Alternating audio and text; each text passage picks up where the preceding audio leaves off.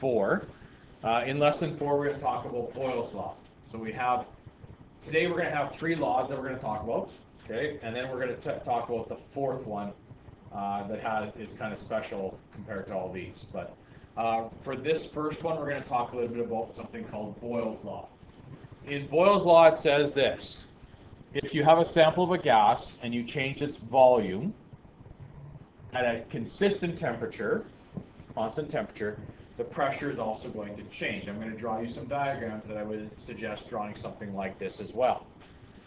Pressure of the gas, we've talked about this before. How do we get pressure of a gas? Well, we talk about pressure between collision between molecules of a gas and the sides of the container, whatever that happens to be. Okay? That's where pressure comes from. So since the temperature remains constant, you don't have to underline this part, I'd say, but there's no change in temperature. Therefore, if we're not changing the temperature, the molecules are moving still at the same speed, right? They're not speeding up, they're not slowing down, they're going at the same speed, whatever that is, okay? Boyle's law says this. This is we do need to know. If the volume goes down, by default, that means the pressure has to increase, okay? If we want the pressure to decrease, we have to make the volume larger. Okay? So those are the two variables that basically Boyle's law does. Pressure and volume.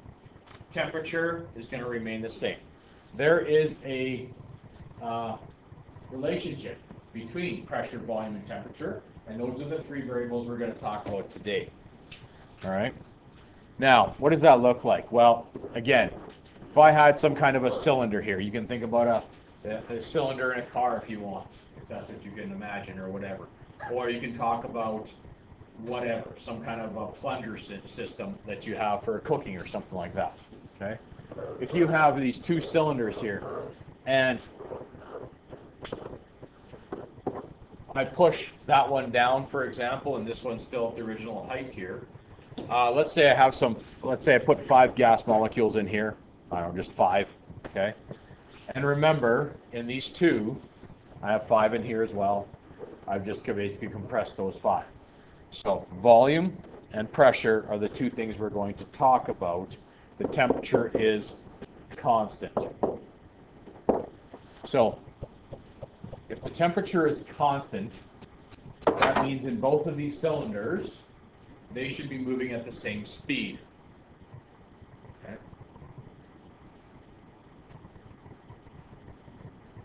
In this example here, the volume is large. Okay. In this sample here, the volume is low. Okay. So in our first container, obviously, you're going to have more space here. So if you have more space between molecules, you're going to have fewer collisions, yes? Correct? Fewer collisions. The fewer collisions you have, of course, means that the pressure is going to be low. We're not going to get that many collisions. So in this case here, the pressure is low. Okay? But, as Boyle's law, Boyle's law says, if I decrease the volume, so if I put those molecules, those same five molecules into a smaller space, there's going to be more collisions because there's less room for them to go, right? So they're going to bump into each other more often, etc., etc. The pressure is going to increase. And that's what Boyle's law basically says. In fact, there is this little bit of tidbit information for you as well. So listen closely and pay attention. We're going to get to this eventually. I'm just going to pretend, you don't have to write that down, or if you do, if you want to, that's fine. I'm just going to say the volume of this cylinder is 2 liters. And I'm going to cut that volume in a half to 1 liter. What happens to the pressure? What do you think? It goes up, absolutely. Can you tell me anything else about the pressure? And this is important, especially down the road for your test. We're not even not quite there. Well, we're there, I think. What would happen to the pressure if I halved the volume? What do you think? Obviously, that's all I'm telling you, so there has to be something going on here. What do you think? Anyone?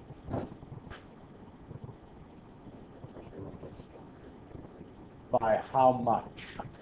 Yeah, twice. Okay.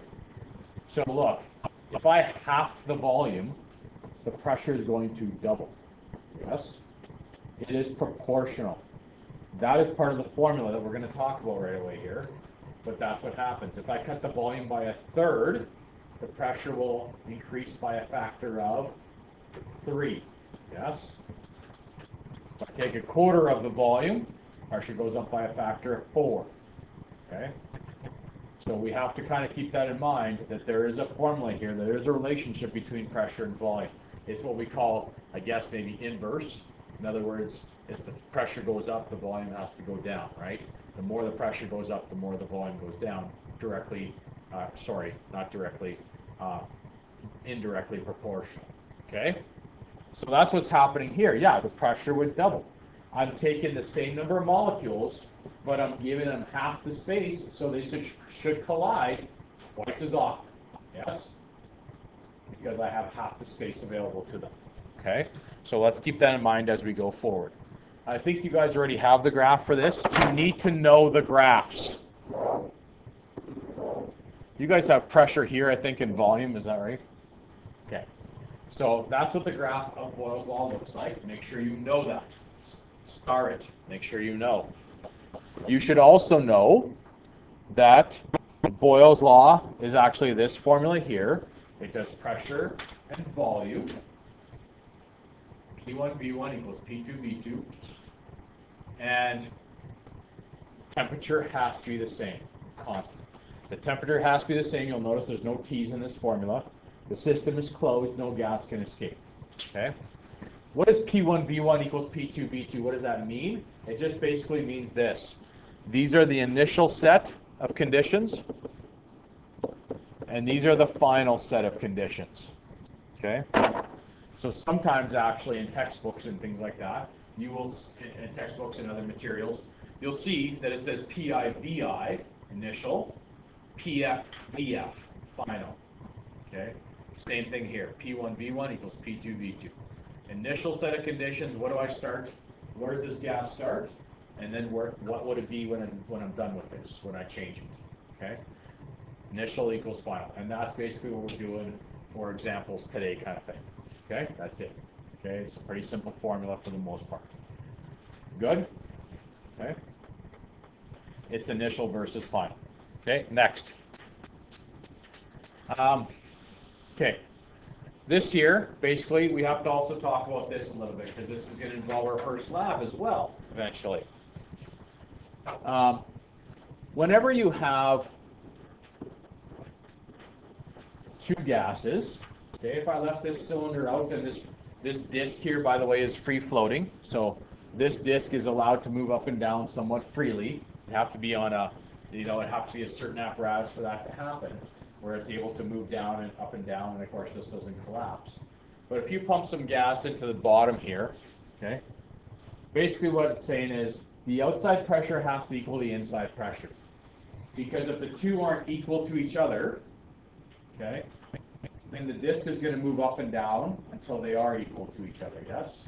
Okay? And that's what happens here. If you are applying a big force on the outside of this, you can pretend that you maybe you put a weight on there, okay, on this uh, disc. So maybe you put a 10 pound weight on the outside. Well, guess what? The disc is going to go down until what? It equals this, right? And this is an example of Boyle's law. The volume in here, this is going to keep decreasing, decreasing, decreasing down here. So this part's going to decrease. It's going to keep moving down that disc until there's enough collisions to create the same pressure. Yeah? Okay? That's called like equilibrium, basically, right? Where the outside is equal to the inside. Okay, back and forth, etc., etc. Good? Uh, another example of this, in a way, we're going to talk about equilibriums. Things need to kind of balance out, okay?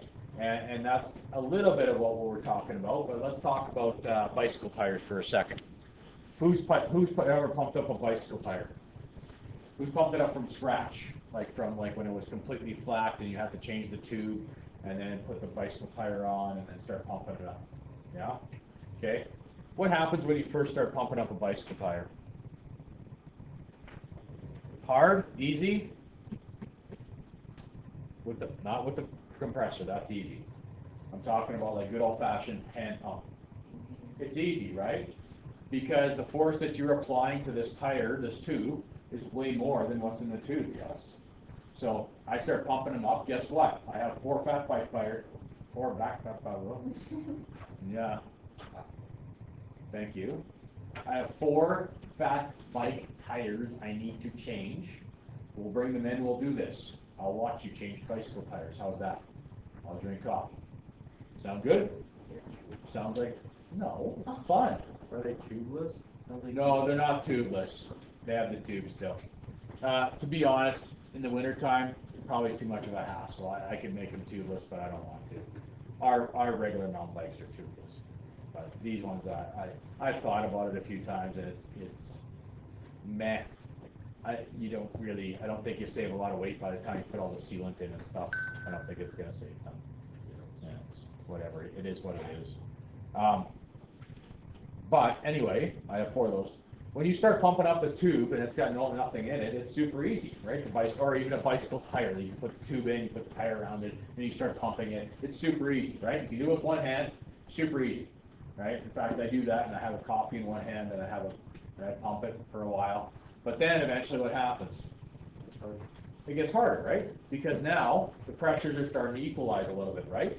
So now inside the tube is maybe 20 psi, and I can't do 20 psi with just one hand anymore. So I have to start using two hands. I got to put my coffee down. So then I start using two hands and I start pumping again. And we get up to 30, okay, or 35 or 40 or whatever it is. I don't know how much do you run in the tire. I don't know. Uh, 80, 80? yeah. Wow. It's fine. Yeah, no, I know. But not much, eh? Okay. Okay, when, I never run that much in my, That's a lot. that is a lot, but they have to have good rolling, right? Yeah, They have to be, yeah. Um, yeah, that's a lot, okay. Um, so, you know, you start getting to, you get to thirty, you get to forty maybe even, but it gets, it starts to now become very difficult, yes? And you are trying to fight against forty, so you're putting in, if you put in forty PSI of pressure, and it's already got forty, what happens? Nothing, right? In fact, if you get to that magical spot where you can't pump anymore, like you're not strong enough to get another PSI in, you push down on the thing and you know what happens, right? You get to that point, if you've ever done this before, you get to the point and it just won't, it won't go down. And then you let off of it and it actually pops back up, right? And that's because the pressure that you're putting into it is equal to the pressure that's inside the tire. If you want to put in more, you got to really put in more pressure, right? You got to maybe put your whole body on top of it to get another psi in or two psi to overcome that, right? That's because the pressures are equalized. And that's what's happening here. The pressures have been equalized now, right? Through kind of, I guess, in a way, through putting more gas molecules in, I guess, but but pressures become equalized. And if you want to get to 80, you can't do that with a hand pump, right? I- sometimes. Sometimes you do. It takes a long time. It does. Yeah, and it's pretty tough. It's a lot of work. So then you get a just compressor, and you just do it by compressor stage, right? But even my truck, for example, has it can hold 80 psi. The tires, it's a heavy heavy duty. It's got uh, big tires on it, and it holds 80 psi. If I only have 40 psi in the tank, it won't do anything. You can take the compressor, even though it's mechanical and all, it's got 40 psi in there, and you can put it on the truck tire and just sit there and put it on there, and you can hear, you will hear nothing. Nothing happens. Because inside has already got 60, for example, and there's only 40 in the tank. It's not enough to overcome that. So nothing happens. If anything, maybe just a little bit leaks out before you make that seal kind of thing. Nothing happens. So you have to go plug it in, make sure it ramps up to like 120 psi, and then go back and you can then add some more psi. But you have to overcome that equilibrium. Yes?